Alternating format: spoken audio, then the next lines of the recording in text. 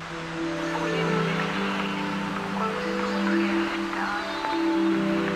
je suis rentrée à l'hôpital en enfin. J'avais pris un rendez-vous parce que j'étais très nerveuse. Au bureau, j'avais, je ne pouvais plus taper, j'étais très impressionnée par les gens. Et les gens, j'avais l'impression que les gens me suivaient. Partout où j'allais, je voyais quelqu'un derrière moi.